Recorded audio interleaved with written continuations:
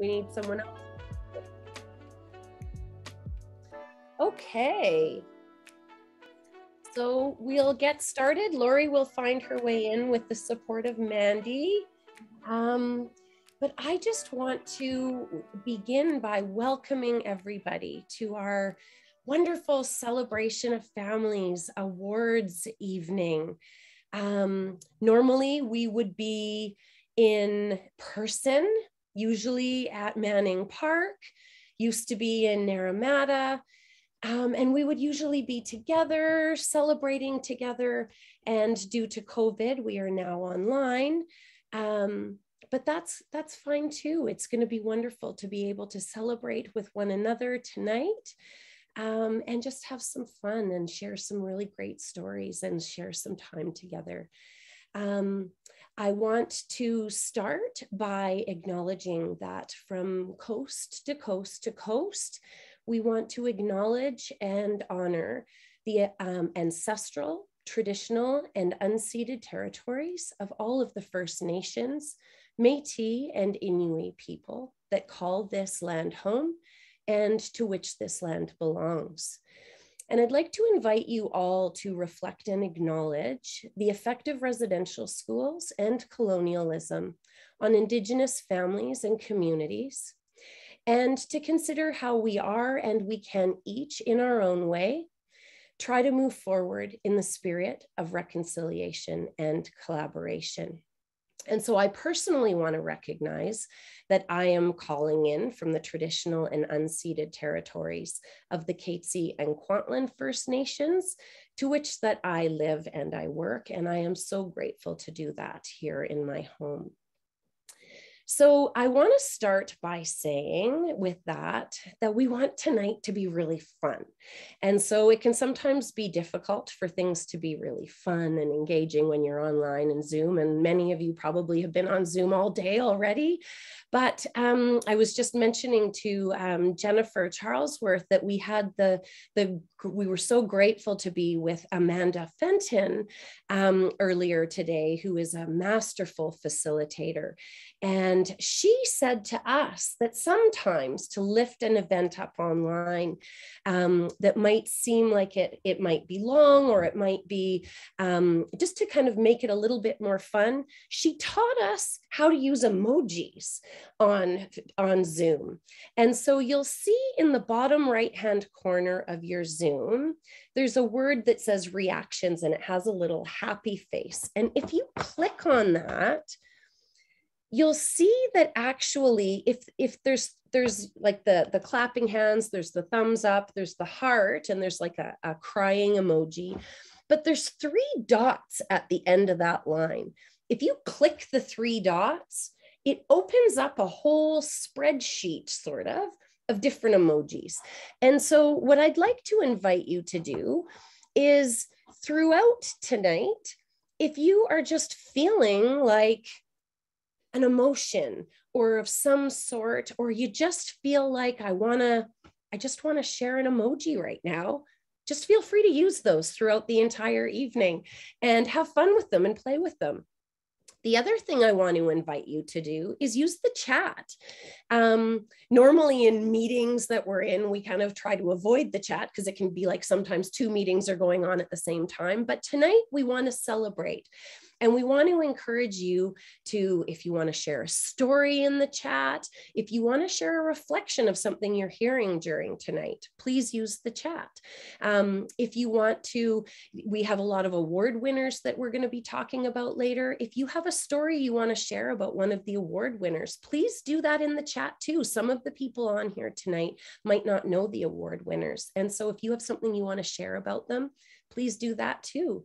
Um, and also, as we hear our, our keynote tonight from Jennifer, of course, if you have some reflections um, about that as well, please share them with, with one another in the chat as well. And also, we're always um, at FSI, we love good humor. And so if you have a good funny story to tell or a tale of FSI, um, of course, we know some of those tales are supposed to be kept in the, in the circle of FSI. I can see Jane grimacing going, oh no, where's this gonna go? But um, of course, share some funny stories tonight. We're here to celebrate. Um, and so I just want to say that I know that the last year or two have been sometimes particularly difficult, but that's not why we're here tonight. Tonight, we're here to celebrate. Tonight, we are here um, to just be together in relationship and connection. We have so many things that we can raise up and lift up with being with one another. That's what FSI is about. That's what our partners are about. That's what our communities are about. And that's why we're here. And so, I just want to us to all just for this while that we're together, let's put aside all of those things that can sometimes bring our hearts down and let's just lift one another up and let's just find a time that we can celebrate and just share love and compassion and kindness and joy with one another tonight because that's why we're here. So I want to um, just thank you all again for coming. I'm going to tell you the order of our events tonight in case you're wondering. And then I'm going to pass it over to the president of our board.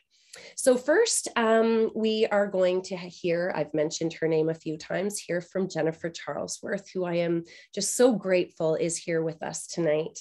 Um, and Dominic is going to introduce her in just a few moments. Then we're going to have our awards. Um, and uh, many of you have been at our awards ceremony before.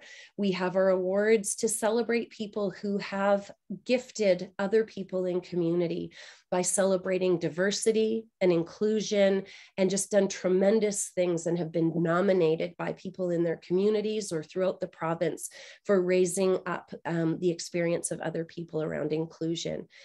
Um, so we're gonna we're gonna do those award ceremonies, and so I will have a few words to say. Somebody else will have a few words to say, and then we'll invite the people who have received the awards if they want to say something. They're more than welcome to speak as well. And then we're going to do our volunteer certificates. And sometimes I think I say this every year, and, and I will continue to say it.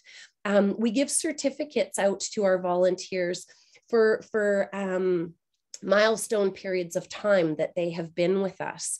And our volunteers will um, have received their their certificates in the mail but i feel like we many people um, we should be an organization that is kind of the got get an award for longevity of volunteering because volunteers come to us and they really don't leave. And i think that speaks to the nature of our family at fsi and so then at the end of the, the certificates, um, we will be closing our first time ever online 50-50 um, and our silent auction.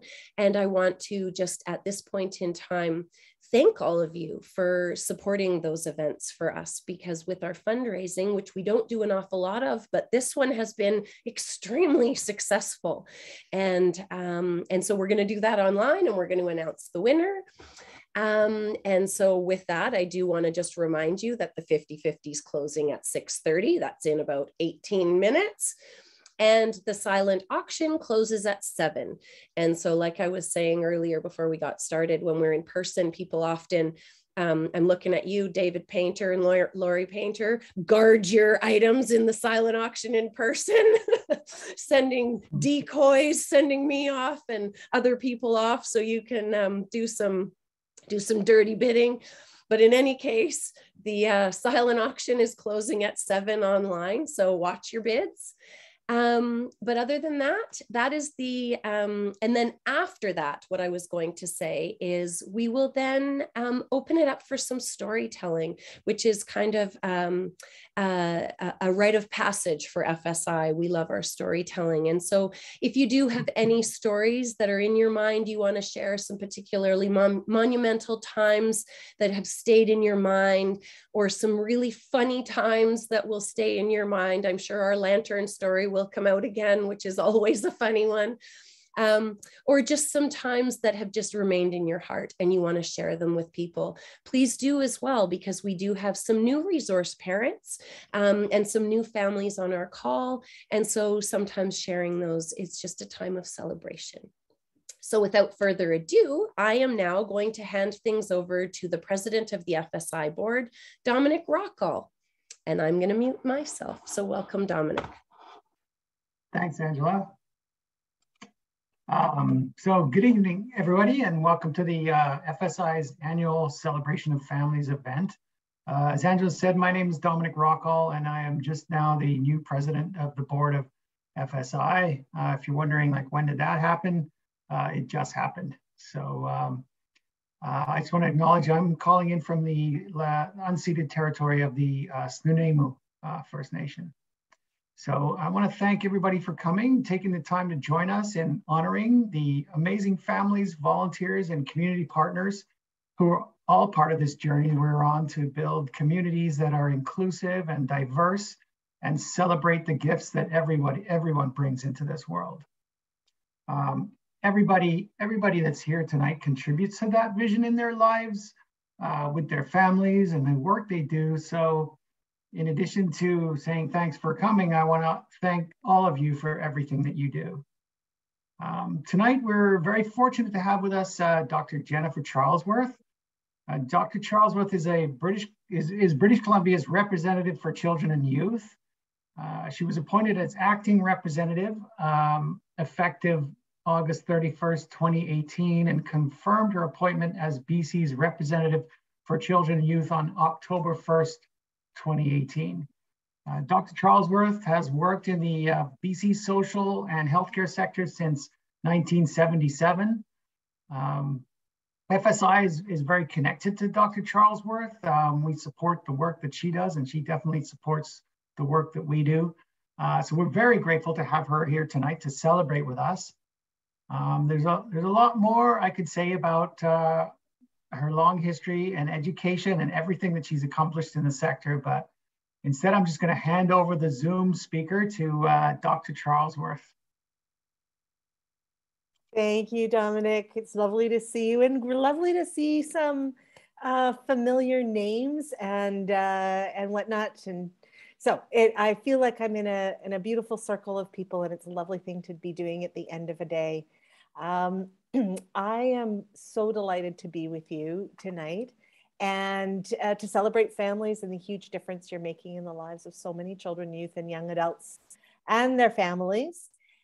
I want to start off in a good way too. And thank you, Angela, for starting us off to help us remember whose lands we're on. I am, uh, I would like to acknowledge the keepers of the lands that I'm on, which is the Lekwungen people, notably Esquimalt and Songhees First Nation. And just out my window, I'm in my office in downtown Victoria, and just out my window, there's a beautiful promontory in the inner harbor. And it's actually a very sacred place where when families, when they, when newborn children had kind of come up to um, a point in time where they, it was clear that they were going to make their home. Uh, they were going to live and and carry on in this on this plane. They would be given their first name at this spot, and uh, there was a period of time for I think it was about a hundred um, and eight years or something like that that no ceremony was taking place, and our knowledge keeper was the one who brought the ceremony back to name his grandchild. So when I look out my window, I look to that sacred place, and I'm so grateful to be reminded of the, the work that has been done on behalf of families and children here. So I'm so glad that you are going to be doing stories today because that's what I'd like to do a little bit uh, with you. I um, I want to share some things that I, we've been thinking of and been working on, and some of the stories that I think will lift us up. so um, I've known Angela for a long time um, and been involved with the Family Support Institute, but many times it's very serious business when we're talking about things. We're trying to figure out how we're going to respond to the things that are emerging and and the challenges that we're facing. But I've never had the opportunity to be in ceremony in, in this ceremony with you, so I'm I'm thrilled. And celebration is exactly what we need right now. Um, and I will say that I'm not going to be able to stay the whole time because we're actually doing a little celebration for some of our team members who've come to Victoria because we've had uh, quite a, a, significant week, and I wanted to make sure that I um, I honored them as well. So I'm doing a little bit of of dancing between, but let's think about where we're at. We're all pandemic weary. We're looking to create a positive post pandemic world, but sometimes it feels like there's crisis everywhere we turn, whether it's climate crisis or the conflict in Europe, the toxic drug crisis that's leaving almost no family untouched. But amidst this chaos, there are abundant reasons for hope and optimism. There is inspiring work going on. That's one of the sacred, uh, one of the things that I feel so fortunate to be able to do in this sacred job that I have is to see the, the difference that is being made as well as the challenges. Even though it's compelling and sometimes necessary to be drawn into those problem areas, I believe it's equally or even more important to keep our minds and hearts firmly centered on the positive, on what's going right, so that we can see the difference that's being made. And I think we need to do this to keep our heads up, looking for the bright spots right now, sharing and celebrating that great work and the beautiful outcomes, and learning what works and amplifying it and seeing the possibilities for the future. Things are changing in a good way, and it's important to hold on to that. Family Support Institute is one bright light in the landscape. My hold my hands up to you. Amazing work going on throughout the province, and I see some some folks that I've chatted with in the past in this circle. The peer support, the family support, the advocacy work that makes such an incredible difference in the lives of those with disabilities and diverse abilities. So, uh, as Dominic said, I've been the representative for children and youth in BC since the fall of 2018. And while I I, I didn't anticipate leading this organization in the midst of a uh, of a pandemic. Um, so it hasn't always been easy. I can say though that I'm encouraged to see the needle moving for young people in some key areas. So at heart, what we're celebrating tonight is a group of exceptional people who are focused on making a difference and particularly on belonging. And I want to talk about that tonight and share some stories. Because when we speak of inclusion, I think that's what we're talking about. We're talking about people who are creating spaces of belonging so that no one feels like they're on the outside. And belonging is a key concept in the work of my office, and I'll tell you why. So, about a year ago, in June of 2021, my office released an investigation report called Sky's Legacy, a focus on belonging. And this was a pivotal report. It was the first investigation that I decided to do since, uh, since starting as, uh, as the representative. But it became pivotal for a number of reasons, and in particular because it changed the trajectory of our work and understanding how we might best help young people. So I'll, I'll tell you a little bit about Sky, uh, a young First Nations girl who died due to the toxic, toxic drug poisoning on her 17th birthday. It's a tragic story, and there were many tears shed in my office at the loss of such a vibrant young person who was so full of potential. And uh, while it might seem odd to speak of such tragedy when we're here to celebrate, there's a good reason for it. So, Sky left us with a vital lesson around belonging, which will help improve the lives of children and youth. And I think she would celebrate that. And we're grateful to her for her lessons. And that's why we call it Sky's legacy to give you a sense of who she was. Um, and think about the skies in your life as we're do- as i'm doing this. Sky was the kind of kid who could light up a room. She was a character kind intelligent witty and with personality to spare. And as a young child she was described as cheeky and mischievous. The twinkle in her eye. She had a great sense of humor an infectious laugh and a zest for life. And she was a bubbly kid who had boundless energy she liked to be busy. In fact, she needed to be busy. And whenever she got the chance, she, she channeled that boundless energy through activities such as rock climbing, swimming, horseback riding, and as it was described to us, fishing, because that was her zen. She was intelligent, inquisitive, dedicated to her friends.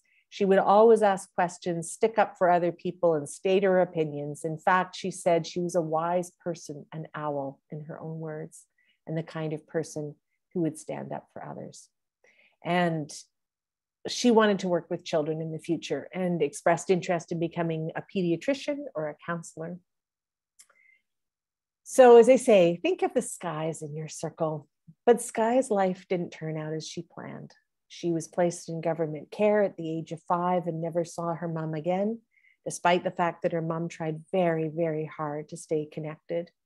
She lived in a series of foster homes, had three failed adoption placements, multiple moves in, uh, across communities, which meant multiple school changes as well 15 different foster homes at eight different schools. She wasn't provided with opportunities to connect with her extended family or her Dene culture in any meaningful way, and she never got to go home to her territory in Fort McPherson in the Northwest Territories, even though she'd been really clear she wanted to do that and had done all the research and outreach. While there were many people who cared about Sky and some who worked very hard to support her, the overall response of our child serving system led to what the wonderful Dr. Martin Brokenleg calls unbelonging. And that's the key. It was during our work with Sky that we had that aha moment and our perspectives shifted. We'd been looking at Sky's history using the language of permanency. We hear that in our system. But our First Nations and Métis partners emphasized that what was really critical for Sky and for all young people was the feeling of belonging. It wasn't so much that Sky's story was about a lack of permanency, but it was about a lack of belonging. And once we realized that, everything changed. The light went on. Dr. Brokenleg talked about the importance of belonging that way back when he first developed his circle of courage decades ago, actually. So it's not a new idea but it's so fundamental because every human needs connections and to feel a sense of belonging in all aspects of their lives. It's, I like to say, connection to people, place, community, culture, and a positive sense of identity and self. And if we f- reflect on our own ni- lives, of course, you can see how belonging mattered, how connection to people mattered, connection to the place that you live. So it's not often you find a universal truth, but for us, this is one because when kids feel safe and and and like they belong they do much better. So i have to share this story with you because i just heard it today from one of our advocates. And uh, there's so much in this story. Uh, sadly i won't be able to share some details because i have to protect the confidentiality of this precious young person but you'll get the beauty of it so, this is a young person we've come to know both because of our long term advocacy for them and because of literally dozens and dozens of reports of critical injuries that they have endured. Sometimes four, five, and six a month we were getting. So, really serious injuries that this young person was um, experiencing. And uh, the services in place just weren't able to keep them safe and so many of their needs were left unaddressed for too long and the trauma and the loss in their short life was unspeakable. And many as you know sometimes people turn away when they think the situation was hopeless but others leaned in.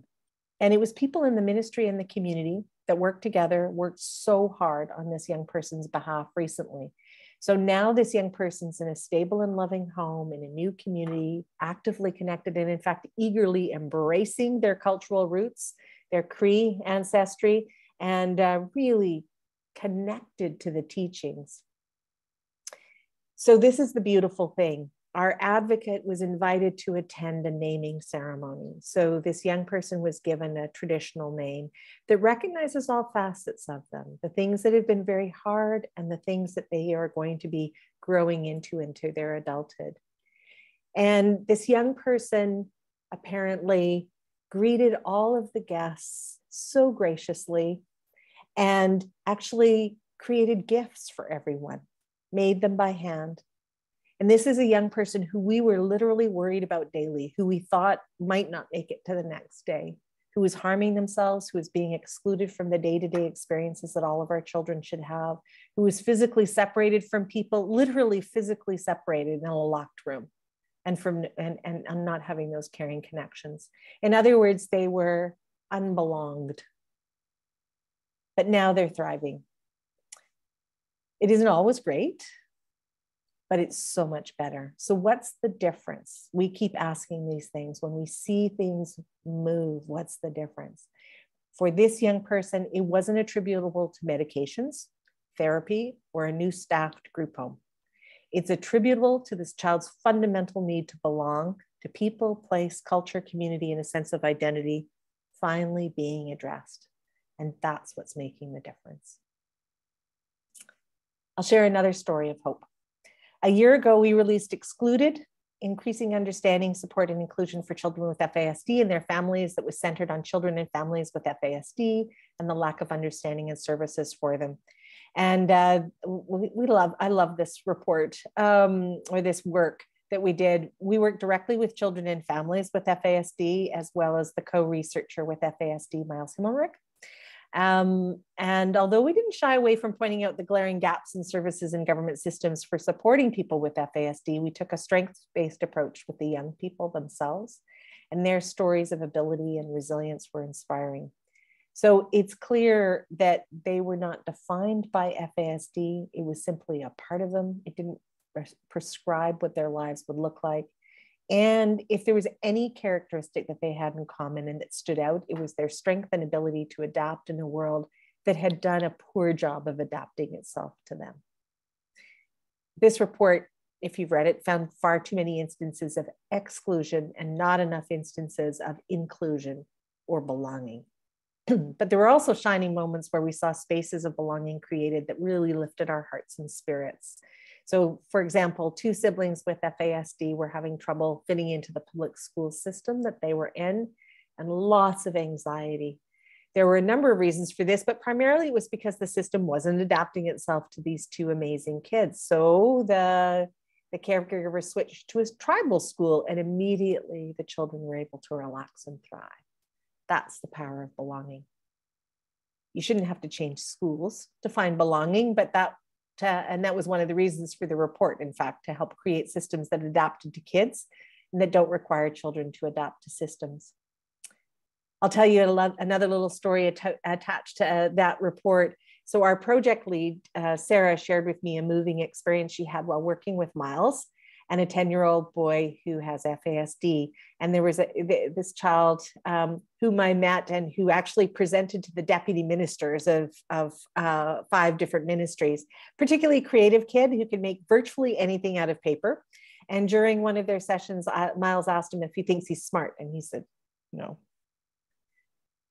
But Myles, who was gifted at working with these kids and has a wonderful way of reframing situations, said to the boy, Well, what if we were stranded on a desert island and we needed to get off? Who do you think people would go to? Would they go to Sarah, who's an academic and a writer, or you, who can make a boat out of paper? And the boy thought about it and said, Well, me. So Myles explained to him that all people are smart in their own ways and that we all have value. Then he asked him again, Do you think you're smart? And this time the boy had a huge smile on his face and answered with an enthusiastic yes. It was one of the many heartwarming moments of the project and illustrated one of the tremendous challenges of strengths based approaches and working with people with lived expertise. One final thing of hope is that after we released the report, we presented it to the Select Standing Committee on Children and Youth, which is the all party committee that I report to. And Myles presented, as well as three parents of children with FASD, and the committee was blown away. Um, there were tears and a lot of emotion as the committee members realized the depth of the issues that were being presented to them, and most of them had no idea. And here they are in the committee, and they're amazing folks. The presentation brought home to him that change was urgently needed, and they were in a position to do something about it and they committed on the spot to doing further work in the area, and they have kept that pledge. In fact, they called the ministries of health, citizen services, mental health and addictions, and children and family just a couple of weeks ago to tell them, um, called them into a committee meeting at the Legislative Assembly to say, to, to hold them to account for making the changes that were recommended in that report. So there are things to celebrate. Now, this is why we're here today. We're working hard to embed the critical concept of belonging into government programs and services. But what's so inspiring to me is that tonight we're celebrating the people who are already doing that. You are people who are leading the way, who are blazing new trails, and from whom we can all learn. The award recipients tonight are creating inclusivity, overcoming barriers and obstacles, and never losing sight of the goal of creating spaces of belonging for the people you care about. You're lifting up the voices of people with disabilities and diverse abilities, and you are honoring and centering their experience. It can be difficult, I know, when faced with frequent hurdles to stay positive. Goodness knows it's been hard the last couple of years. And yet it's vital, and that's what you're doing. So I applaud you all. I hold my hands up to you. And I want to say that your example will continue to make a difference. Our young people are watching, and in fact, um, a presenter that uh, joined us today when we were speaking with the select standing committee on another issue said you know we are that the young people are watching us very very closely and they're learning from us what uh, they should be and what they could be, and that we are the ancestors. And so, what kind of a legacy are we going to be leaving for the children? So, it's important to keep in mind that you never know who you're inspiring along the way. And so, your actions are making a difference now, but will also have long term impacts. So, possibly in ways you never even imagined and you may never even know. So, thank you from the bottom of my heart for your dedication and congratulations to you all. And uh, I'm so glad to be able to celebrate each of you. Back to you, Angela. Thank you very much, Jennifer. Um, can you all hear me? Am I on? Yeah, okay. So thank you very much. That was inspirational. Your stories were inspirational. The work you do is, speaking of inspirational, that's what it is. And uh, it's, uh, you know, in, in this field, in this sector, it, it can it can be, uh, you know, it can be difficult. There's, uh, there's a lot of hurdles. There's a lot of challenges, and uh, it can get you down. And so it's so important to focus on the successes and the strengths and build on those strengths. And uh, so thank you for that. Um, and so, uh, yeah, I'll now hand it back to Angela. Thank you. I've got some sort of note right here. I'm just gonna, there we go. Thank you so much. What a wonderful way to begin our evening together. And, um, you know, when I hear all of the things you're talking about and all of the stories that you're sharing with us, it resonates so deeply. I know with me and with everyone else, I can see heads nodding and, you know, the, the, the, um, the, the idea of not even the idea the the concept the the the theme of belonging is what every single one of us are striving towards in the work we do in the words we speak in the stories we tell in in everything. That's the goal is exactly what you were talking about belonging for every single person in the world right? It's not it's not about disability at that point. It's not about labels. It's just about knowing you have a place of belonging with people who love you, who, with people who care about you, with people who get you. And it's just, I'm just so truly grateful for you for putting words and stories to the things that we live in our organization and with our families and our loved ones. So thank you so very, very much now I um, I know that our 50-50 and all of these things are coming to an end, if not on um, at the end, but I'm going to quickly pass it over to Sylvia because she wants to speak for a few minutes and then we're going to move on to our awards. Yeah, I am so excited to say that the 50-50 closed at $4,750. So the winner, can I do the math in my head, is going to win 23 75 does that sound? 2375 so good luck good luck. Uh, we're just waiting for nexus uh, raffle nexus to to close it up and they'll be sending me uh, the winner shortly. But i just wanted to highlight that there's still lots of great stuff on our, our on our silent auction. Uh, we have business duffel bags still really undervalued. Ballet, B, ballet bc uh, the canucks in abbotsford. There's an Elias Pettersson autographed puck. He is doing hat tricks every time he plays, and that's at $45. So there's lots of great stuff. I do encourage you to take a look uh, if you have a chance. And back to you, Angela. Thank you. And now we're going to move on. Oh, oh, I've got another. I'm not moving my video onto the spotlight. So I'm getting this message saying somebody spotlighted me and I'm ignoring it. I don't need to be spotlighted. Um, so anyways, um, now we're going to move on to our awards. So the very first category that I am presenting to you today is in our volunteer resource parent category. And this award goes to Diana Salcedo. And Diana has been a resource parent with FSI since 2019. And during this time, she has supported countless families. But in addition to that, she has also mentored our staff. She is generous with her time. She's patient with everyone she encounters, sharing her personal story with grace and vulnerability, which we all know is so difficult to do and passionate advocacy as she fights for increases to the social services that are so lacking in our province that are leaving families on the verge of breakdown many times. Um, Diana has a creative mind and she shares her gift through many mediums, including graphic design, infographic productivity. Many of them you can see on our website. She created all of the infographics for our self injurious behavior project, and they are fantastic. She's also created a, a, very moving and informational video about her family's journey that is rich with love and caring and compassion, just the very way Diana is in all of her work. And so I also want to invite Karen Speyer to sp say a few words about Diana at this time. Thanks, Angela. Diana, I am just so honored um, to have met you. Um, when I first met you in my role as Regional Network Coordinator, you were one of the first RPs, resource parents that I met.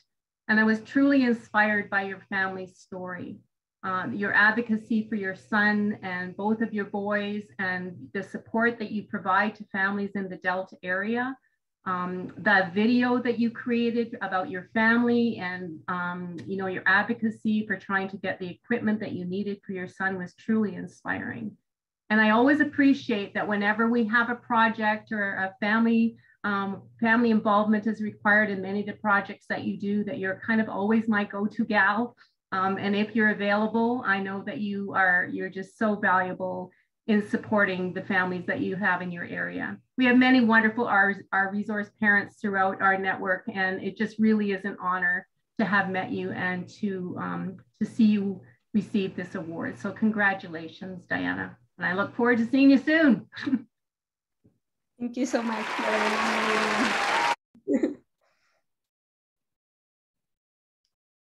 If you have anything you want to say, Diana, you're more than welcome to. If you don't, that's totally fine too. There's no pressure to speak.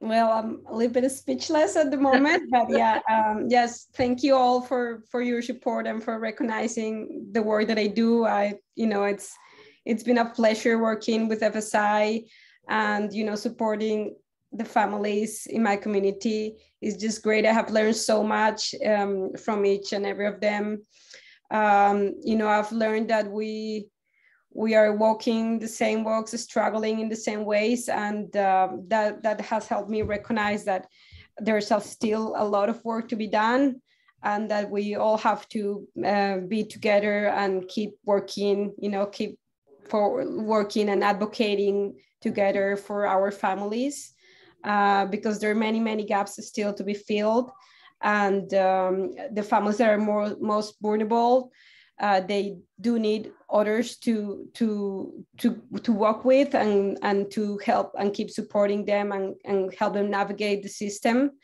Uh, so yeah thank you all and um, it's a pleasure to be here and i'm very grateful for this award.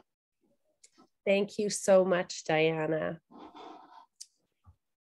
The next category that I am going to present is in the category of self advocate. And so this award goes to Lauren Richardson. And Lauren has been advocating tenaciously or tenaciously for better understanding, respect, and supports for people living with FASD. She has done media interviews, she's done newspaper stories, she's done newsletter articles, she's contributed to blogs and many other forms of public awareness and education. Um, she even contacted me at one point because there was an opportunity for um, somebody to be collecting information, to be the source of information for FASD. And she couldn't be that website, of course. And so she, she needed to find a source for that. She's extremely resourceful. Um, and so her tenacity and passion for advocacy and self advocacy is apparent in everything that she does and her tender heart is also felt in her work with everybody that she comes across. And so, in this point in time, I'd like to invite Esther to say a few words about Lauren.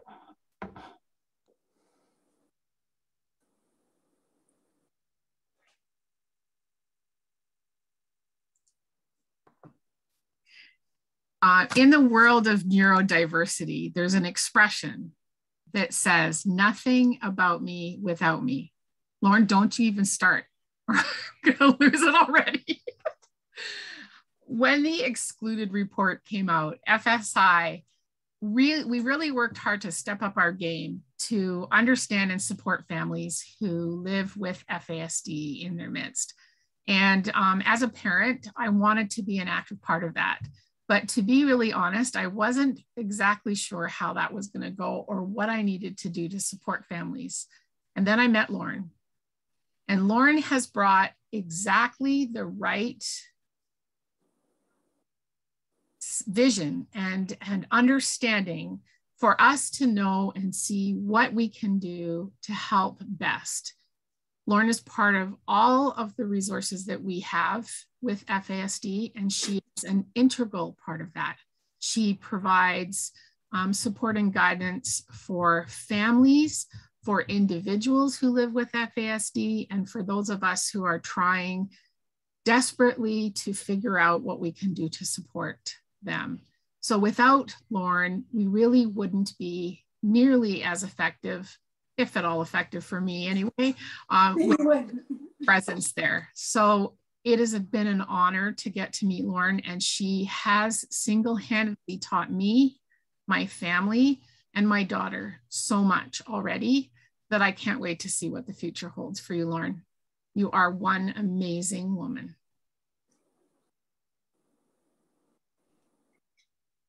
Uh, thank you, Esther, for saying that. Um, that it's a huge honor to be here. It's such a, um, you know, I couldn't have done it without any of you. And uh, it's uh, it's amazing that you can take uh, a dream of yours and um, completely make it a reality for people you know, when I started my advocacy work in 2019 by doing a bus ad, I had no comprehension that it would go to the lengths that it has. You know, and when I started talking to people at FSI, you know, and, and sharing my story and, and opening up and, and completely talking about my story, um, it's amazing how many um, families and how many people I uh, would touch through um, advocacy. You know, I, I, you know, there's certain people in this life that are gifted with, with being able to, to be um, a, a role model um, for people with disabilities. And, uh, and uh, I'm, I'm one of them, you know, I, uh, I, I've been able to um, share, share my story, share, share, share my lifetime and, and advocate um, for others who do not have a voice. Um, FASD is a complex and very tricky um, uh, diagnosis. And uh, without people who speak on it, neurotypicals, neurotypicals would not understand what we have to go through on a daily basis, on weekly basis, or a 24 hour basis. You know, there's people in this life that make a difference, um, a huge difference. And growing up, I, I watched uh, a lot of people um, make, make that difference. But one, one in particular person was a gentleman named uh, Dr. Martin Luther King. And uh, one, of, one of his sayings was, uh, not, one of his quotes, he had many amazing quotes, but one of his quotes was, um, our lives begin to end the moment that we become silent about the things that matter most. And it's so true.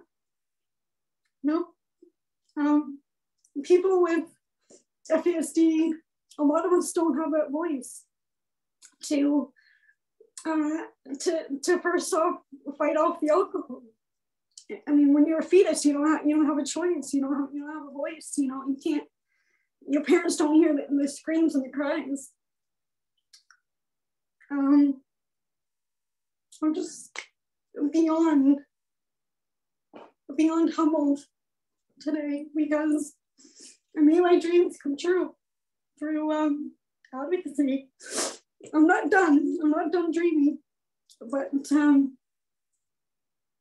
we need to do more for the diverse community at large. Um, I need to do a lot more. I am, you know, I'm blown away by um, stuff that I read and, and blown away by certain situations that happen that, that have happened recently in my life as well. Um, I'd like to take this opportunity to say thank you to uh, the people at FSI for for um, lifting my name up and uh, and uh, putting my name forward. I'd like to say thank you to Mrs. King, Mr. Windle, and um, uh, Miss Miss uh, and Mrs. Beckett um, because without you guys, I wouldn't be where I am today. And um, I also would like to thank um, a lady named uh, Mrs. Brooks. This lady I met um, right in downtown Vancouver.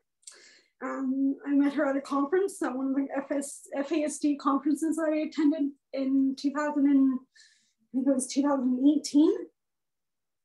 And uh, and the reason why I want to honor her is because she uh, was the first lady that um, gave me the platform to even open up and, and publicly speak, to my first presentation to uh, a bunch of people in Ontario. Um, and if it wasn't for her, this award would not be happening. So thank you from the bottom of my heart. I love this award. It's a beautiful piece, gorgeous, gorgeous piece. Um, it's made uh, by an agent or by a lady named Diana Salestino, I believe it is on the back. It's a gorgeous piece. Uh, so thank you very much. Uh, like to also say thank you to uh, my family and my, my siblings, uh, Miss Miss Richardson and uh, my other sibling, Miss Richardson um, and my mom, Mrs. Mrs. Mrs. McIntosh, and my father, Mr. Richardson. Um, they're all on this call. If, if you can see them, wave. Hi, hi. Um, and I also want to say thank you to my birth family. You know, my birth parents, and um,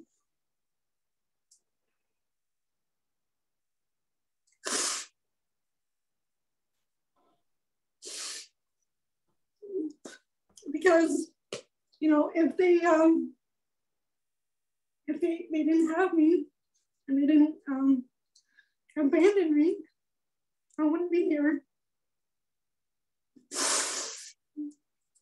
I'd also like to th say thank you to um, um, Mr. Wendell's daughter. Mr. Wendell um, is a gentleman that I met uh, through FSI. Uh, and I met his daughter uh, Miss Windle and his uh, amazing wife, Mrs. Windle. And uh, you know, I, I, met these these these amazing people, and uh, I got to spend time at their home and and and, and meet their daughter and, and see how amazing their daughter is uh, through the eyes of somebody who lives with FASD. Their, their daughter also has FASD, and um, it's amazing to watch her um, succeed and, and everything that she does and, and interact with her um, because her FASD diagnosis or her FASD um, plays out differently for her. And um, it's such an honor to be able to, to meet people who have FASD um, and uh, and also uh, you know be friends with other people and friends with families that that, that have children with FASD. Um, often people with this condition and families often feel very alone with having this condition and and and um, and um, and and uh, you know I, I feel like I brought a gift to, the Windle family and also to the King family and also to um, the Nichols family. Uh, uh, the Nichols family is, is a, a, beautiful, a beautiful family. She, I, I met Mrs. Nichols um, on one of the FASD FSI uh, meetings uh, a while ago, and uh, she has a, a, an amazing, amazing um, uh, young daughter, um, and her daughter's 15 years old, and uh, I got to know her over Zoom, and I got to know her actually in person. I met her in person a while ago, and uh, she, the daughter, is absolutely like vibrant and vivacious, and just just such an amazing uh, young girl. She's 15 years old, but her mind is of, of a 30 years old, 30 year old. You know, she she she's very profound in, in a lot of the things that she says. And she you know she she said lauren you're my hero. And i said no no you're my hero. Like the way you think um mrs nichols miss nichols is um absolutely amazing. So uh you know it's such an honor to be here. Uh, you know this award has humbled me. Um all my work is you know it's continuing to to bring awareness. Um you have to remember fetuses don't have voices. And uh and uh, we need we need to do better in the world. And i will continue to advocate for those who don't have a voice and for those fetuses that are not born yet. And uh, you know we, we need we need to do better as canadian citizens. We need to do better as a nation um, because the the the um, needs have not been met. And uh, we have to do we have to do better. We need to do better because it's the future of our um, canadian generation that uh, and the nation and and, and uh, worldwide. So um, uh, until uh, FASD is completely erased from this world, you know, we need to step up and, and, and talk about it and make uh, make it be known. Um, anyways, uh, enough about me talking. And, but uh, take care, guys. Thank you so much, Lauren. And you know, when I hear you talking about um, you know, bringing a gift into um, different people's families. One of the things that I just want to point out is that you have brought such a gift into our entire FSI family. You've brought the gift of you, and you've brought the gift of learning, and you've brought the gift of knowledge. And um, and this is just the beginning. This is just the beginning of amazing things um, together. And so I just I just want to thank you so much for that. Um, I am going to move on to our next um, award. And um, next is to an organization that has done tremendous work supporting Indigenous individuals who live with disabilities all across Canada. So I'd like to, you to all to please join me in supporting the BC Network on Disabilities Society, sorry, Aboriginal Network on Disabilities Society. And so this is to BCANDS, they have celebrated 30 years last year in delivering Indigenous disability and health programs and services across Canada.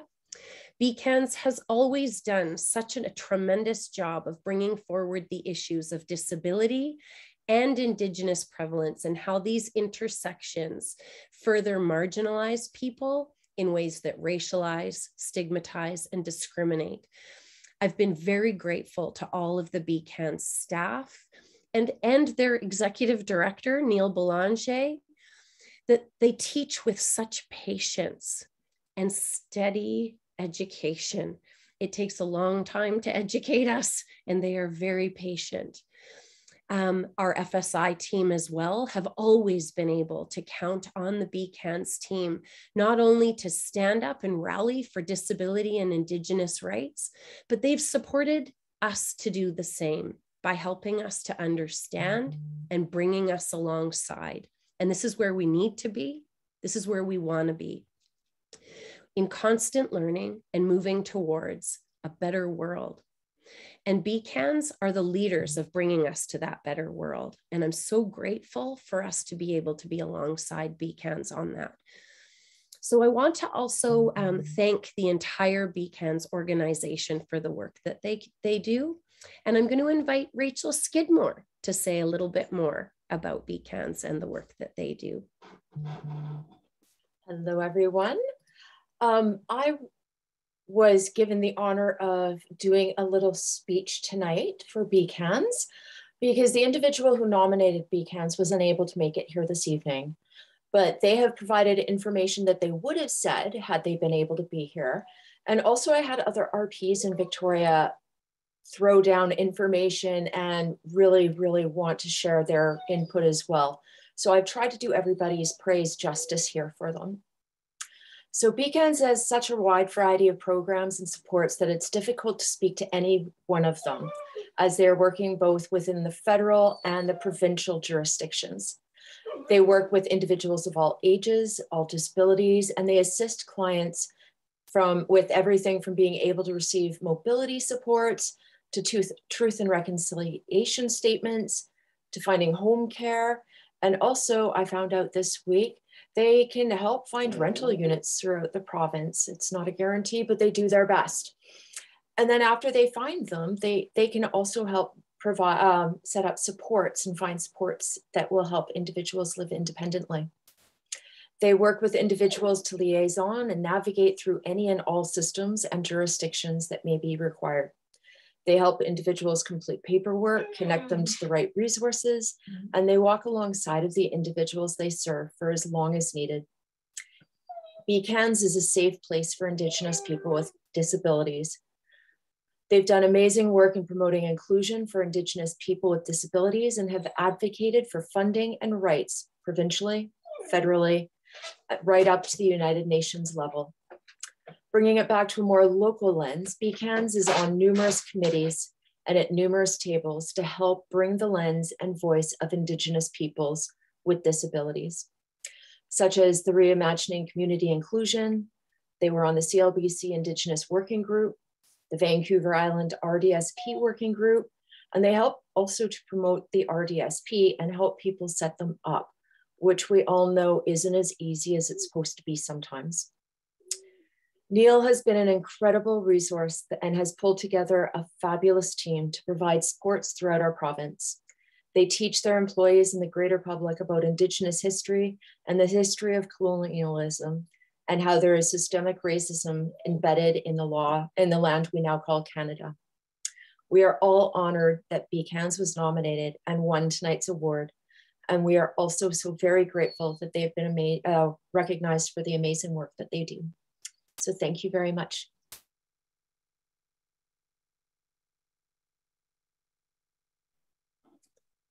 Neil, if you have anything you want to say, you're more than welcome to.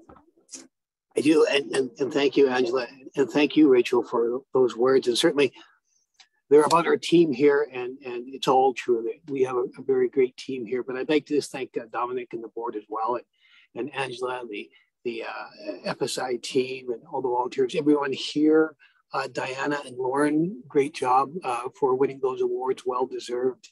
Um, and I'd like to introduce my son, Luke, who's with me tonight.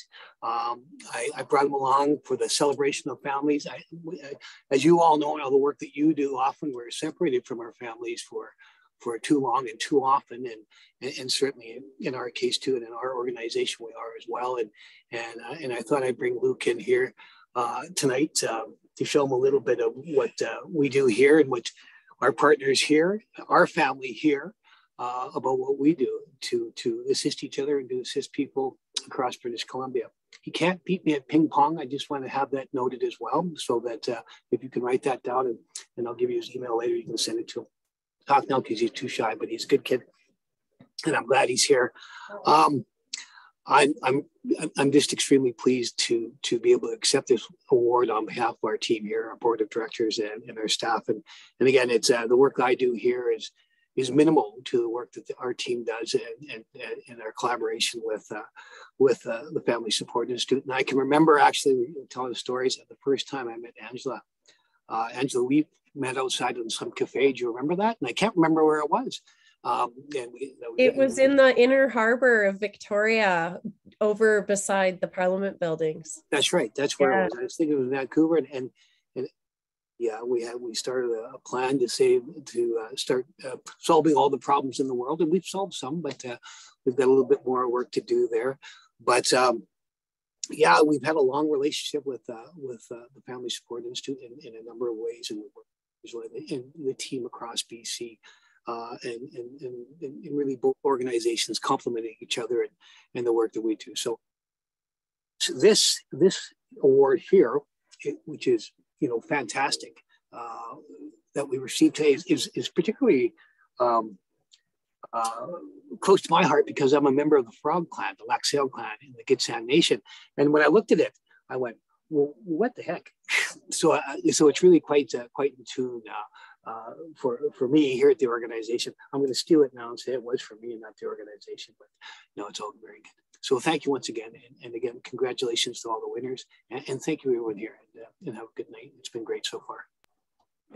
Thank you, Neil. I remember that conversation in the Inner Harbor well, and uh, you know neil neil is always so generous with his time to sit down and guide me and provide information. And you know often email him about you know school information and he'll send me the documentation you know about this even though education isn't even necessarily inside BCAN's um, kind of portfolio or wheelhouse. But um, he sure makes budget lockup a lot more fun than it's supposed to be. So an, an amazing sense of humor as well. So thank you so much much and congratulations. And so the next person, we're going to move on to our next award. The next person that we want to offer and honor in this celebration is in the category of community member.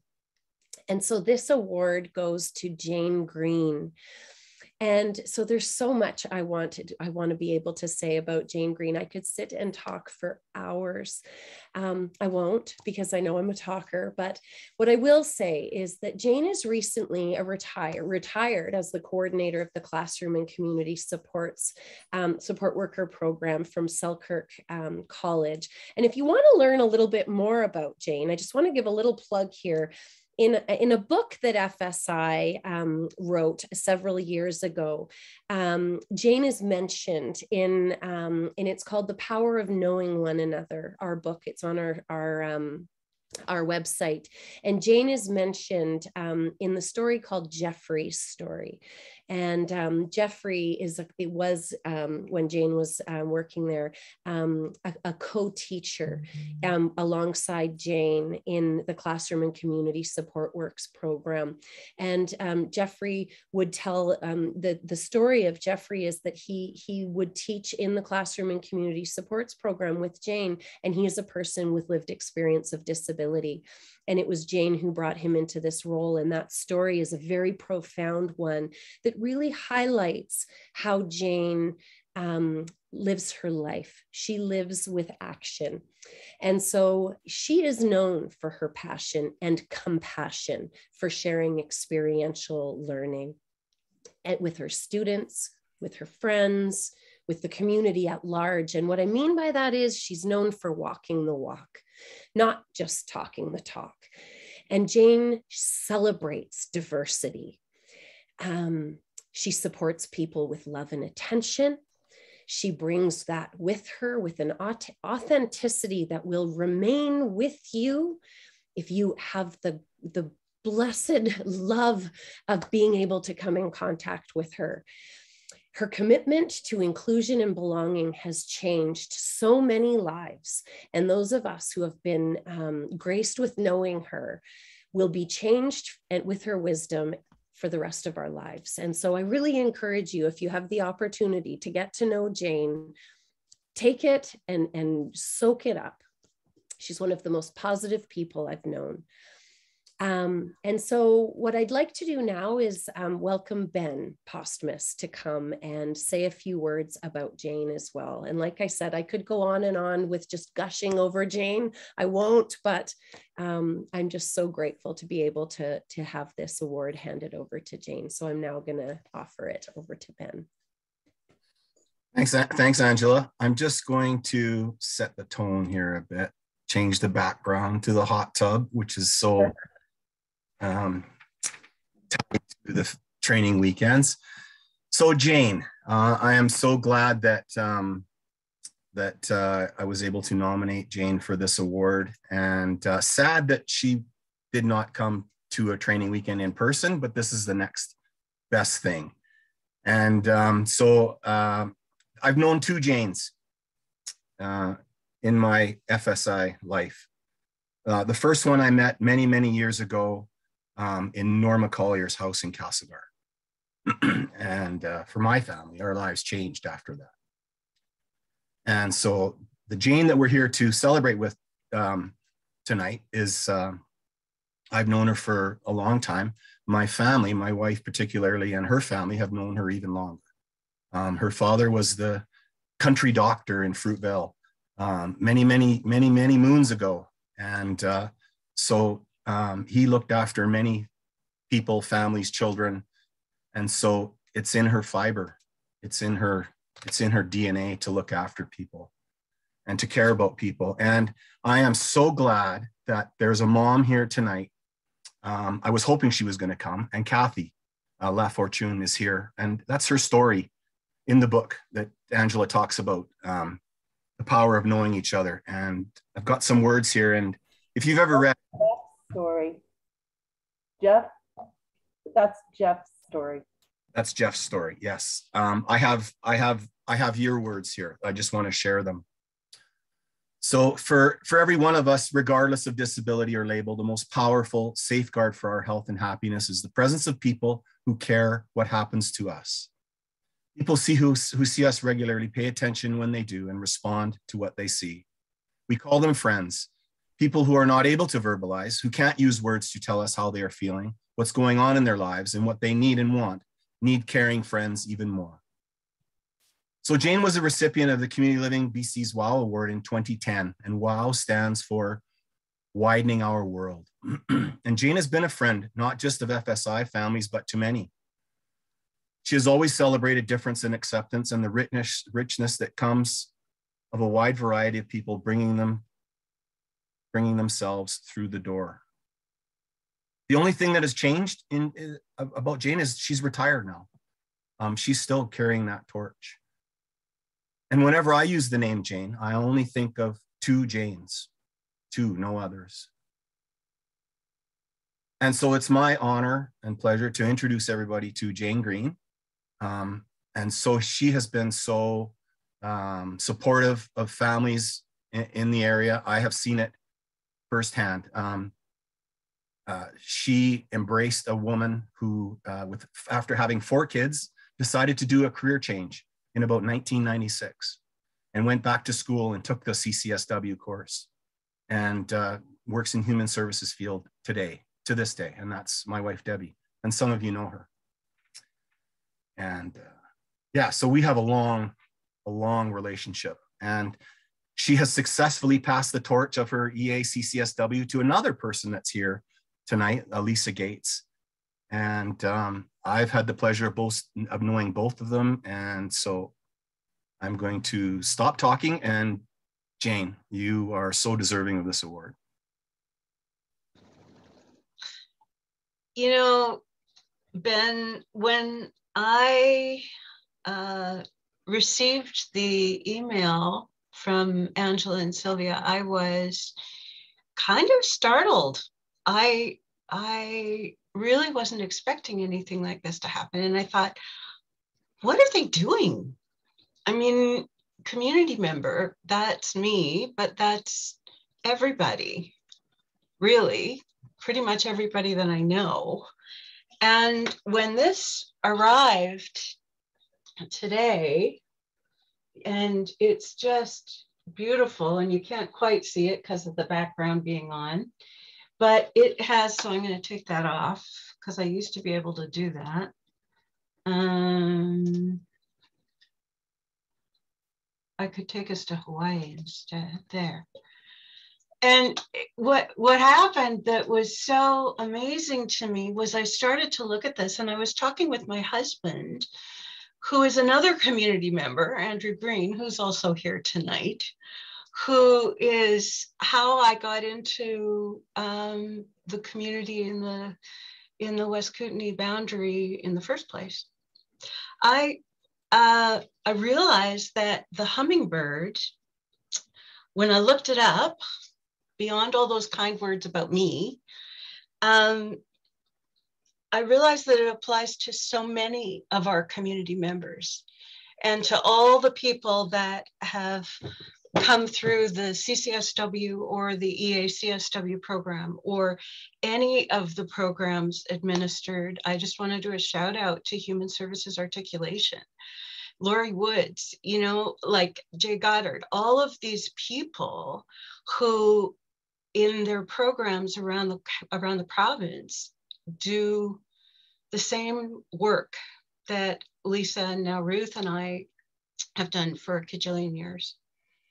Um, just to make it possible for people to have the great richness added to their life that's been added to mine and to to my husband's as well to be able to be a hummingbird and um, connect with families ben Posnikoff, you are on this call and I'm blown away. You're another co-teacher and you were in my classes and you taught so many people so many things. Kathy and Jeff, you are truly um, influencers. The other thing that's on this, since I took the background off, I'll take you to Hawaii in a minute, um, is the fireweed. And I just wanted to acknowledge um, the fireweed comes, I, I think it's fireweed. I don't know. My husband handed me a book at supper time and because this arrived today. And I was like, oh my gosh, what is that? And we decided it was firewood, fireweed. And I looked it up and it's about resilience. And it's about growing in the face of uh, in in lots of cases a fire and for so many folks um, life is about resilience i think for all of us. So when i was walking on the beach thinking okay what is it that comes into my mind to say about this? And um, i think the, there were two words and one was unconditional that the work that we do and the family definition is truly about unconditional caring. And I know I learned that from my folks, and I've learned it with my students and with everybody that I've had the great privilege of working with. And it's about love. And so I really want to move into my rewirement. It's not retirement, it's retirement from teaching at the college because it's in really good hands now. And I did it for a really long time. But right now it's rewirement.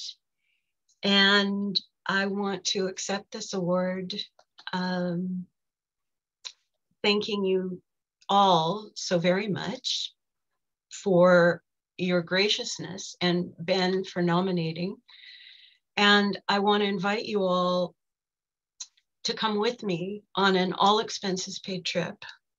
Um, I want to accept this on behalf of all families and all community members.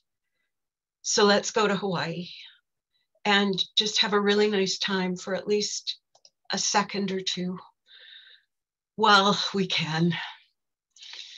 I thank you for the award. I thank you for the honor. And every time I put crackers and cheese on this platter, I will think of all of the people with whom our lives have been so, so blessed. Thank you so much. Oh, thank you so much, Jane. Beautiful words. Thank you. Oh. Okay, so last but certainly not least, um, I would like to present our final award, and it goes to a business. Um, and so this year award, this year's award goes to a small home-based business called Paw Utopia. And it actually goes directly to the owner, Rebecca or Becky Stewart. She is unfortunately not here with us tonight, but I'm still going to say what I wanted to say. um, Becky was connected to a job seeker, somebody seeking employment, who was interested in dog grooming. And she was connected um, through a project called Mentorability. And this project um, might typically connect people a couple of times. Um, but in Becky's case, she stayed mentoring this individual over the course of six or seven, it might even have been eight months. And as a matter of fact, I think she's still connected with him now. And she supports and guides him um, she has supported and guided him to become an employee. She's supporting and guiding him to become an employed dog groomer. and to take the courses that he needs to master his skills. She's assisted him to understand what tools he needs, what intricate skills he might need to master his, his craft going forward. She's been patient, she's been understanding, she's been thorough with him.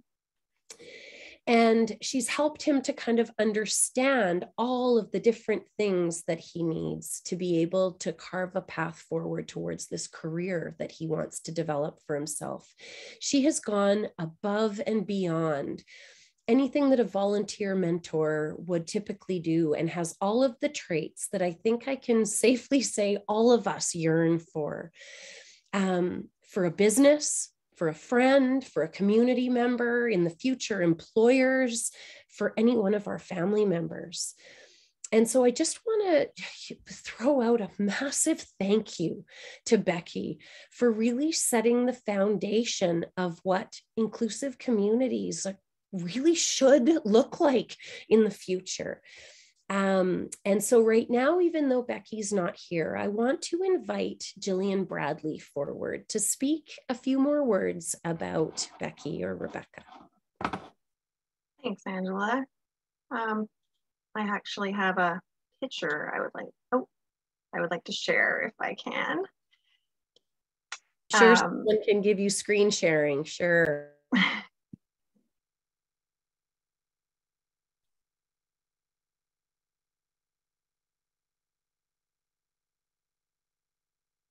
maybe I can't. That's okay. is, that it, who's got the ability to give? It's okay, we can do that. Is it Bobby or Jessica? Not Jessica. Is it? Yeah, I'm just working on it. Okay, to... Bobby's doing it. Yeah. It's okay. There we go. There we go. That should work for you now.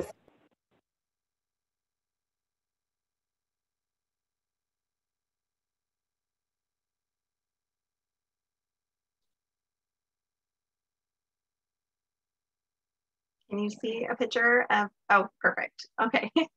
this is um, Becky from Paw Utopia, and she is with um, Zach, who was the protege that um, Angela was speaking about. Um, and I wanted to share with you uh, words from the uh, community organization that supports Zach in his employment, um, and as well a few words from Zach that he shared about Becky. So Zach is supported through Milieu Family Services in Surrey. And for the past six months, they've been working closely with Becky at Paw Utopia in Aldergrove. Um, Zach and, and his staff went to Aldergrove and dropped off a small gift for Becky uh, to thank her and update her on all the exciting things um, that are going on for Zach in the world of dog grooming. Um, Becky was so proud of him um, she asked that he continues to stay in touch and offers continued support with any questions he has. Zach took much of what Becky had to offer to heart, her idea of online dog grooming technician course to start, then the purchase of his tools. And he has been in a paid practicum now for several months and loving it, which has actually turned into um, full-time employment for Zach. Um, Becky asked Zach if this is something that he still wanted to do after getting into it now. And he was loud and clear with a resounding yes. Um, it's been really successful for Zach. His confidence has soared and he is right where he wants to be. Um, so Zach wanted to share that um, this opportunity uh, opened the door for, for some interesting opportunities um, I actually ended up getting a job at a salon as a groomer technician. I don't think I would have had the opportunity I did if I hadn't come across Mentorability who helped me connect with my mentor, Becky. So this was just such a lovely um, wraparound story of from start to finish of, uh, you know, what, what a community member and an employer um, can do for somebody and make such a difference in their lives. And, and through this mentorship of, of Zach not being quite sure if, if dog grooming was for him, um, and meeting Becky and realizing, yes, this is what I'm really passionate about, and just her encouragement um, and and her ongoing support uh, led him to full-time employment, which is the ultimate goal for for these types of projects and and for everybody.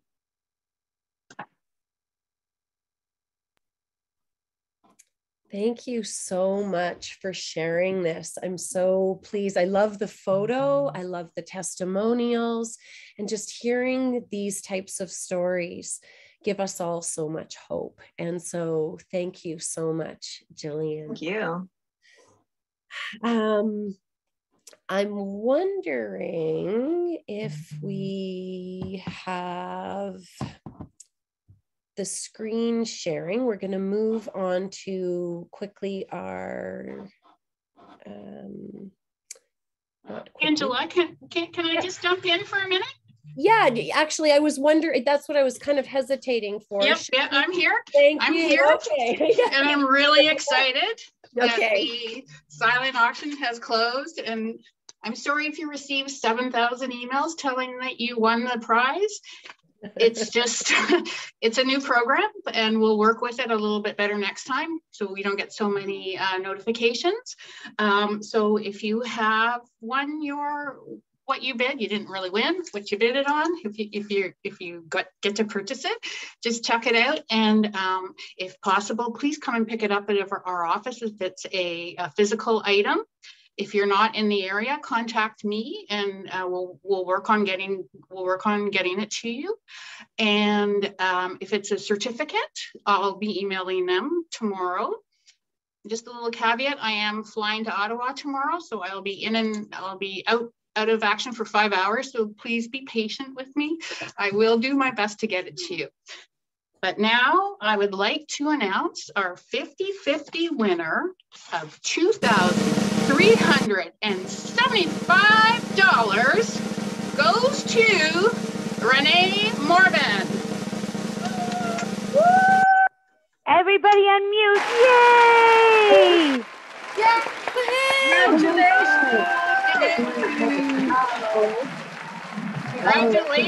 Renee. Way to go. Yay. Congratulations, Renee. That's awesome. Yeah. I'm on holidays too, so I'm like super stoked. Congratulations, Renee. Wow. That's awesome. I would like to thank everyone for participating in our fundraiser, for um, purchasing 50-50 tickets, for uh, donating items to the to the silent auction, to um, to bidding on the items. Uh, I think this has been a really successful year for us, and we appreciate your participation. Participation. Back to you, Angela. Whew.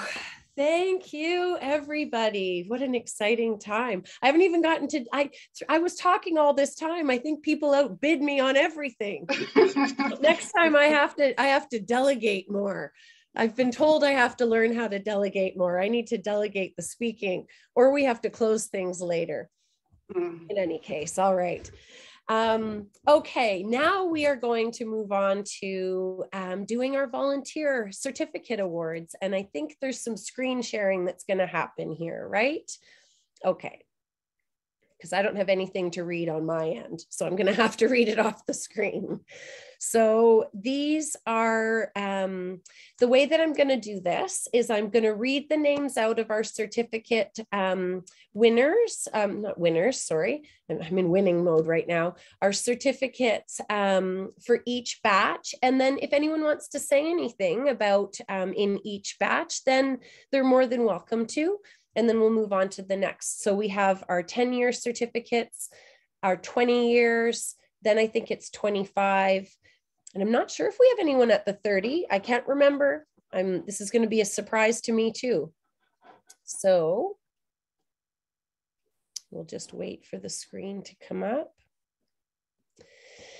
And what an exciting time having all of our award people. Next time we'll have to um, we'll be in person and we'll be able to sit around and have lots of hugs and not have to worry about there's a weird thing down the middle of the screen here jess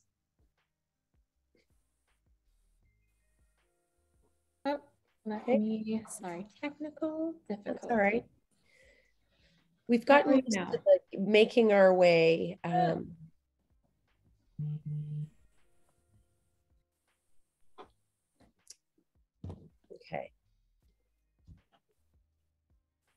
I'm not sure what that, okay. Sorry about this.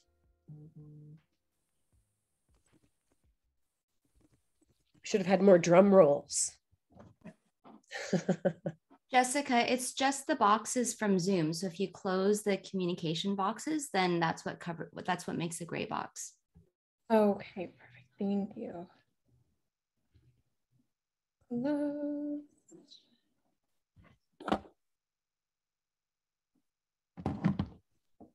Okay. Hmm. Okay. Well, we'll just read through them anyways. Are we at the beginning of them? Now we are. Okay, so we'll just hopefully the, the little boxes won't get in the way. So these are um, in recognition of our volunteers who have been volunteering with us for 10 years. So we're going to start there with Linda Perry, Christine Hung, Kelly Sheldon, Angela Robertson, Cindy Sanford, Yuko McCullough, Roberta Johnson, Hope Taylor,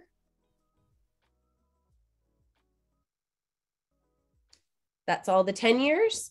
So I'm not sure, I, I, I'm not, I'm, it's not that I haven't memorized everybody who's on the Zoom tonight, but I'm not sure if any of our uh, folks are here tonight, but if they are, they're welcome to unmute and say a few words.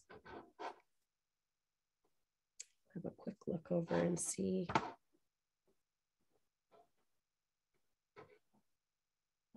I don't think they were. So then we will move on to our 20 year certificates. Jessica, if you move out of full screen mode, then you can make the box smaller so that the zoom control doesn't cover the certificate.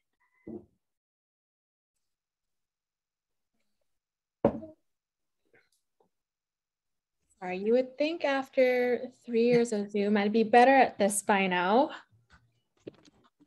I think you're wonderful at it.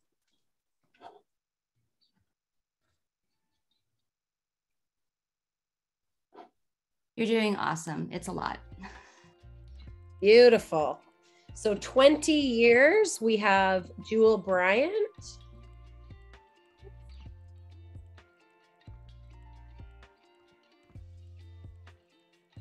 And Linda Machman. And I don't think either of them are here with us either. So then the next certificates are for 25 years, and we're going to start with Catherine Shantora and Karen Speyer, Karen Graham, Marianne Castle, Anna Beaudry. And so I know a couple of those folks are here. If they want to unmute and say anything, they're more than welcome to. Hey, Angela, it's Anna Hi. Beaudry here. Hi. Hi, Anna. Thank you so much for um, recognizing this. It feels a little bit weird because I haven't been so active in the last few years, so I don't know a lot of the new faces. Um, but I am happy to see some of the uh, longtime people that um, really supported me way back when, when I started, like Bonnie and Jane Holland and Dave and Lori, Don Robertson, Maisie. It's just so great to see everybody. And I just want to give you an update. So the my five-year-old son that brought me to FSI 25 years ago um, is now uh, well, I, oh, it's a terrible reflection, but he's now 30. He's um, uh, living on his own in his own apartment. He's been living there for four years now. And none of that would have been possible without this beautiful family of, of volunteers. So thank you so much for really supporting my family and filling my tank so that I can support others. Thank you so much, Anna. And what a wonderful photo and a story, and to be able to have everybody hear where he's come you know i mean what a what a great thing because that's that's exactly and you know the thing with fsi is some families need a very a lot in the beginning or maybe they need a lot in the middle and sometimes they don't need a lot and we just know that you're there in the background and when we call on you we know you're there and if and if you need something you know we're here and and that's kind of we're all in it together right um, that's the reciprocity of this family. So thank you so much. Is there thank anyone? You. Is there anyone else who wants to share? I'll just say a few things, Angela. Um, and I um, ditto Anna's comments about seeing some wonderful faces that were here many, many years ago when I first joined um, Family Support Institute. Uh, Don Robertson and I go way back. Our boys you know, are, are the same age and, um, you know, still get to see her now and then. So that's amazing. But the support that has been given to my family, you know, my son was three when I first started as a resource parent with FSI, and he's now 28 years old and living life and loving it, living in a home share and, and doing very, very well. And I know that when I tell the story, I mean, I, I'm now, um, I now work for FSI, but when I tell the story of how I was first introduced and that lived experience was such a lifeline that many of those that came before me shared with me that, that, that give you that support to carry on and move on. And, and when I'm able to tell my story now to others, um, I'm now that older person that's telling their lived experience and, and what goes around and comes around. So it, it's just really a pleasure and an honor to be a part of this amazing organization. Thank you so much, Karen.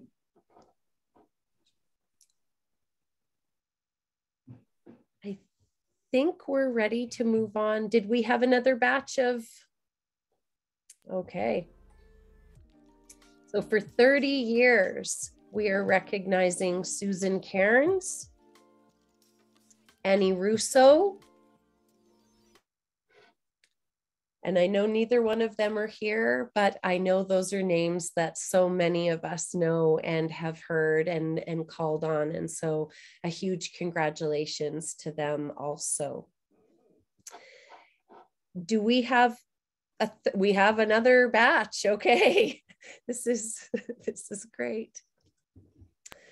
And for 35 years, we have Marie Webb. Ethel Magnus, Judy Ennis, Judy Peterson, and um, uh, I, I, will say Marie Webb sent me a message um, just the other day saying that she was unable to come. She really wanted to, but um, that she is just as connected to FSI as, as ever. I, I speak to her on the phone every once in a while, and she's still doing all of her connecting and community engagement work. Um, and uh, and so she wanted to send her her thanks to everybody and her love to everybody here. Um, and so if uh, if anybody, I guess this is where the storytelling begins. And so I had planted that seed earlier. If you have a story you want to share, a funny one or a particular moment in time um, that stands out for you, um, please go ahead. Dawn, I was hoping you would have a story to tell. You've got a you've got a good story bank in your mind. I uh, was looking, I quite often get pictures come up on my screen that um, uh, that remind me of the past, and I was going to send it to you guys. Actually, it was um, a picture of Kathy Anthony, and uh, we were still up in Naramata, and um, she was lighting the nice green. Um, what were they? They they lit up the and flew up in the air. Lanterns. The Yeah. lanterns, and I just remember her running up the street, zigzagging all the way up there, trying to get the lantern that was going to get caught in the tree and the fact that everybody ran up the street after her it was just the funniest thing that lantern story is uh, got to be the best lanterns the, the best fsi story that i've i've participated in anyways i, I think we were so afraid we were going to set the whole place on fire I, oh, I Oh, think Kathy was, we were all laughing. Kathy Yeah. was terrified. oh yeah She was, she was beside herself.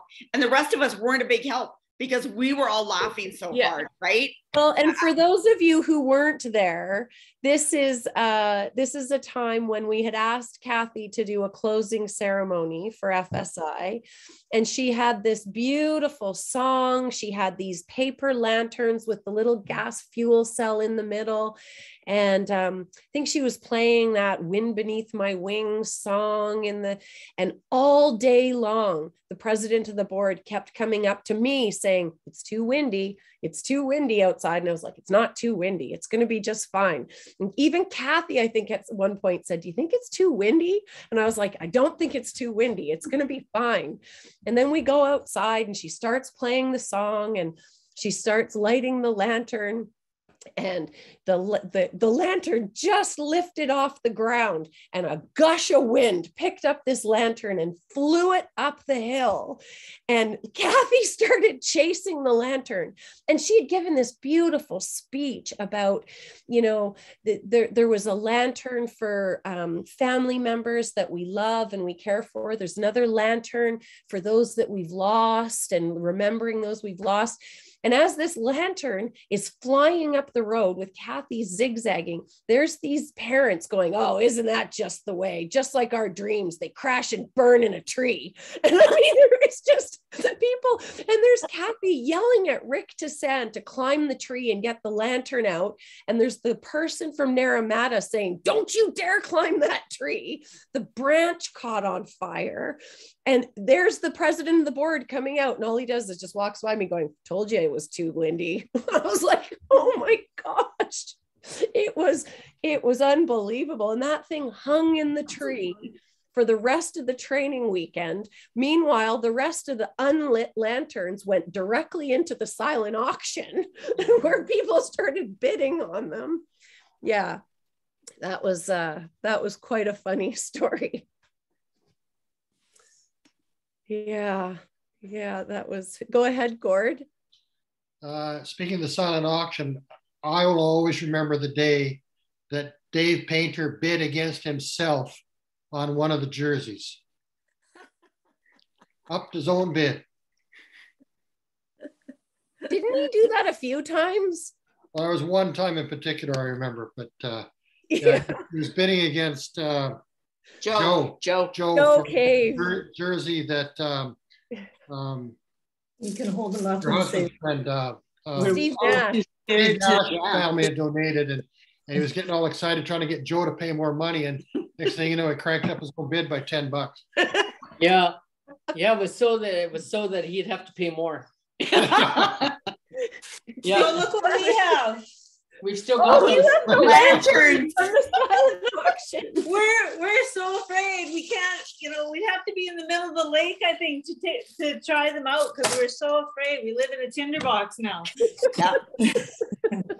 I think Bonnie Fallowfield still, she has a few too. I do. Oh gosh. Oh goodness. Yeah, light them up in the winter. That's right. Some snow on the ground. Yeah. More and more, we want more um, embarrassing and funny. Embarrassing stories. we Oh, know dear. they're there, so unmute yourselves. Come on. 10 year recipient, 20 year recipient, 30. Yeah. I remember a pole dancing night uh, many Oh. years ago. I see. Maria, Ty. There was a whole group of them there Dancing on a pole lamp. on a pole lamp. Where was the pole? Is that in Naramata? Uh, well, it was a it was a pole lamp in one of the cabins, and and one of the yeah, houses. in one of the in the house. They were in a right cottage, weren't they? Yeah. Yeah, yeah, they were. It was in the cottage, right directly behind where where dinner was served. Yeah. after hours fun. Yes. Yeah. Well, and then there was the also the time in Naramata where somebody had had a bit too much indulgence and decided to go looking for somebody to party with them, and it turned out it was the Ministry of Child and Family Development. Yeah. She walked in on her, didn't she, or something? she knocked on their door saying, "I'm here to party" with a martini in her hand, and it turned out it was wasn't it Randy Malsness? Was it oh, Randy? yes, it was. That's funny. Randy said, "Don't worry, I didn't have my glasses on, so I can't identify her." and and MCFD funds our training weekend. But she was Well, all good fun. There's fun in fund. There's fun in That's fund, right. right? That's So- right. Yeah. yeah. It's all about connecting. Yes, that's Yeah. right. Yeah. Well, I don't have, it's not an embarrassing story, but I do want to share about how I came, became connected with the Family Support Institute. Yeah, please. Um, I lived in Victoria and was at um, the Moss Street Market. I don't know if any of you were familiar with that, but you know, like a farmer's market on the weekend.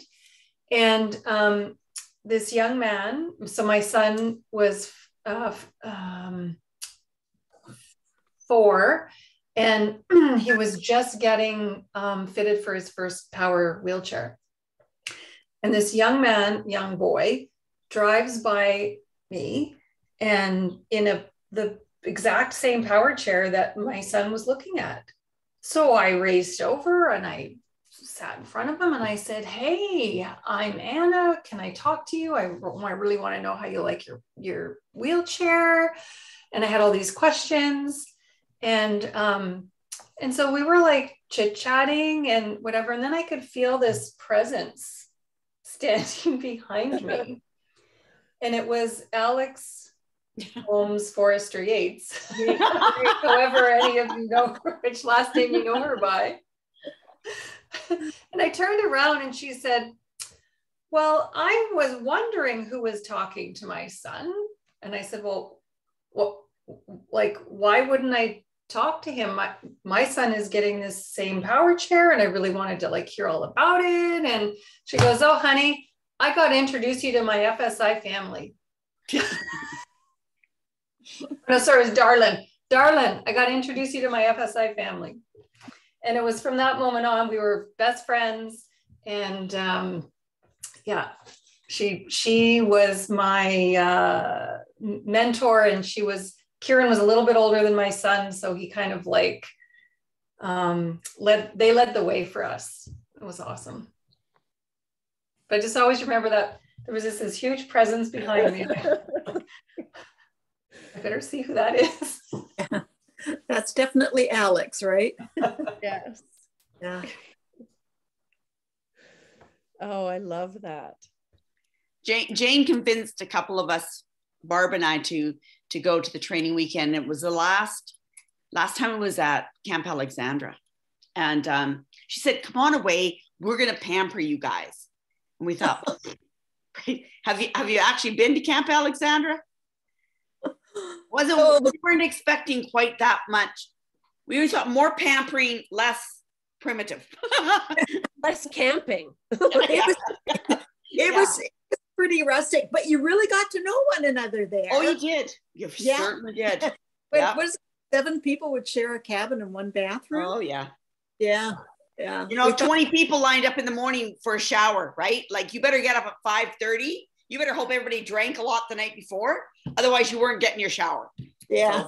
it was I, It was I a- think I was in a, ca- a a little bedroom that was um there was six Bunk um, beds. bunk beds and I was on the top the top bunk of like, and it was three bunks. It wasn't just two bunks.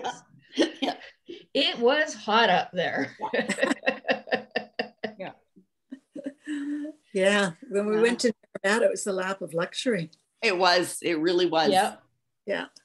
Everybody had their own shower. It was like crazy. I know. Oh, heck yeah. And we had the hot tub. Yes. Right? Well, some of us had it more than others, right, Ben? I was going to say, is Ben still here? I don't Yeah. think so. Where's Ben's hot tub stories? He always has some. Yeah. Oh, oh I don't God, think that- those are repeatable. Don't you remember the year that they actually did the Kootenays did their skit and they did the hot tub? Yeah, I think. Yeah, yeah, yeah. They, they all came out. They had made this cardboard hot tub and they all Yeah. came out with with swimming caps on, singing a song. Oh, it was priceless. Right. Some of some of those skits were just so amazing. Like that was such Really fun well when we- done. Mm. I'm envisioning now with the way technology is that that would have gone viral. oh yes, yes, We live in a new world Yeah. now with all of this technology. I can only imagine the documentation we could get. Although I'm pretty sure all of us would have kept that sort of between ourselves in the Right. RP page, um, because none of us really wanted out there, out there. Just what happened in post it. Naramata stayed in Naramata. It really did because cell phones weren't a thing, you know, in the early days. So That's true. yeah. That's true. We're gonna have to have it like at weddings where cell phones have to stay in a locked box at the entrance, and you can receive it as you're leaving the venue. That hot tub took me out on my very first training weekend, actually. My introduction to the training weekend. Got in the hot tub, spent way too long in there, had an allergic reaction to the chlorine. Oh, Bev Kissinger gave me a couple of Benadryls and I was out. I slept like for two days. You missed all the excitement then, Anna. I missed it all, the Yeah. whole thing. Yeah. Wow. We Does have it- had some good conversations in that hot tub though. You know Really what? I never I never got I never went in it. I never went in it. Jane, I you guess were that- always working. Yeah, pretty much. Yeah, working cleaning up and yeah, yeah. It's probably just just as well. Just as well. I was just thinking, I'm not sure. I'm not sure. I'm I'm not a big fan of hot tubs anyways, but the stories I've heard about that hot tub, I'm not sure. I'm Oh, I don't know. I think we were solving the education system, but Oh, nobody would listen true. to us. the conversations were probably pretty great. I think Bonnie and If I you had could remember late them. conversations in there. I, I have a clear rep, re- uh, recollection of a conversation I had with Angela. Oh gosh. Oh, Uh. So I was uh, president of the board. We're sitting just inside the entrance at uh, Naramata. It was kind of a break time or, or something was going on, but we were In there. the gym? Like Angela was just back from her second maternity leave. And I was in my third year on the board, so I had one more year to go. And I said, you know, I'm, I think I may just, you know, do this this year and then I'll, I'll be done. And uh, Angela said, well, no, no, we, we need, we need to, your continuity. And I said, well, you know, it was, to be honest, Angela, it's been challenging, you know, because this was her second mat leave. And she said, uh, you know, I promise I'm not having any more kids. so I said, okay, I'll stay on the board. Actually, I think it might have been just before the AGM. So I- it's probably my fourth. Yeah, it was my fourth year. I was just Mm. finishing my fourth year, and I said, uh, oh, okay, okay, I'll stay on. And then, uh, like, seemed like days later, it was announced, yeah, I'm pregnant again. and then we had to go through the. Uh, I was also no, that I we think I stepped too close to the hot tub. Yeah, there you go. maybe. I mean, No, look, no, I look mean- what kind of a swimmer, you know, Hannah is. Her diving, you know, you, who knows? That's right. That's right. We have three beautiful daughters, but I, I'll never forget that conversation. I'm, I'm not having any more kids. I have no recollection of that conversation. I know you don't. I'm sure you don't. I, I remember actually there were Bonnie's mom used to always bring a lot of or or send along a lot of knitting and stuff. And she had all these baby blankets and stuff in this box. And and I remember Bonnie saying, you know, I don't know if I even want to put these out. And and you said, Oh yeah, put them out, put them out. And I remember Barb turning to you, Angela, and saying, Why? Are you gonna need those, Angela? No, no, no, but we need to get all the money we can for FSI. and then Angela's buying all the baby blankets, and we're like, I think there's something there. Something's going on here. Yeah. Yeah. I like blankies for Well- myself, Terry. And training we Well, I don't know if in your never- house, Angela, I have a lot of dogs, and a lot of our dogs sleep on baby blankets because they're easier to wash. They're smaller. You can switch them out. So it's it's the dogs, not the baby. Yeah. Unfortunately, back then I didn't have a dog, so I couldn't use that as an I was trying. I was I reaching know. I, there for you. appreciate. This was 18 years ago before when she was uh, just got pregnant with Jada. So uh, no, there was. and I think you were living in an apartment. You probably didn't have a dog at all at the time. so- No, They No. had fish. I had Lots fish. of fish. That's right, Dawn. Well, in training we could never be complete without Dave and Lori dancing. Oh, I was going to say you guys should do a dance for us. Absolutely. screen. Oh, camera goes off. They're putting their shoes on. That must be what's going on. That's gotta be it. Angela, I asked Diana if I could see her award because I haven't seen it yet. Can she share it with us? Yeah. Yeah, yeah. Yeah. I don't have a story to share, but I can share my award. Oh, it's beautiful. yeah, it's awesome. beautiful. Great. Oh my gosh, it's beautiful. Yeah. Thank you. Beautiful. There's a there I will say that there's a couple of um awards that do need to be re like we want we want to reprint them and so even though they're beautiful they'll look exactly the same but um like Diana yours isn't one of them but there's a couple that don't say who the award is from. So for example they don't say from the family. Support my bro- my water all over the place.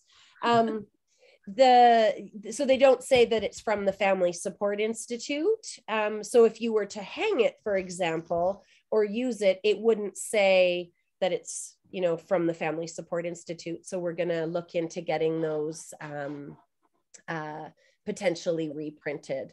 Um, and then um, I, I'm- I think that might be the only one. So if it doesn't say the family support institute on the outs on the front then you can so jane i think your yeah see yours says i think it just says community member with your name. And it should say like family support institute um, community member celebration like this one yeah if you can hold it up diana where it says family support institute volunteer resource parent and then it'll have your name so that if you were so people know who you got the award from. So yeah. And so a couple of them i think and i'm not sure neil if yours says um the whole thing on the outside either. So it'll still be the same image it will just be and then you would have two you could have the one so we're just but when sylvia gets back we'll um from her holiday we'll um we'll deal with all of that. You mean we're getting another award?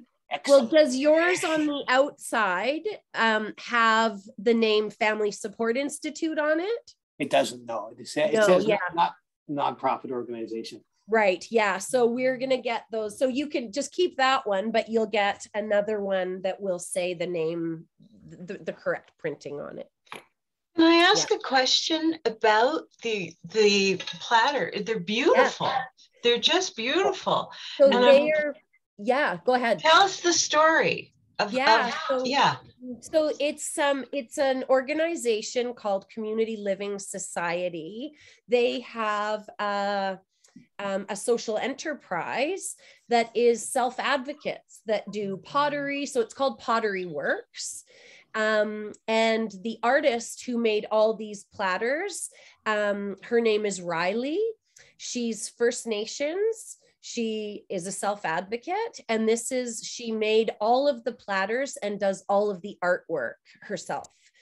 Um, and so she works at Pottery Works. And one of the things about Pottery Works is they pay well above living wage. So it's um, it's an, a very they, they get the artists get very well paid. They have their own business, um, and they they get to sell their pottery not only to people like us who buy it and and you know have little business you know business transactions but it's also a gallery so you can go into pottery works gallery and you can select some of the artists artwork out of the gallery or you can um, commission them to do work as well. If you like their artwork you can commission the different artists to do work.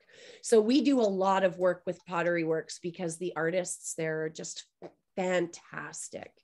Yeah they're all and everybody who works there is a self advocate which is an inclusive employer And as well. Are they in Seattle? No they're located in new westminster okay Oh, yeah I had the same question because the box says Seattle. I'm like, oh, Oh, it's- did it? We, Yeah. you know, it probably was. Is it was the boxes we used out of our office to ship. ship Oh, them okay. Yeah. yeah. No, they're not in Seattle. They're just down the road from our office in New West. Mm-hmm. Yeah.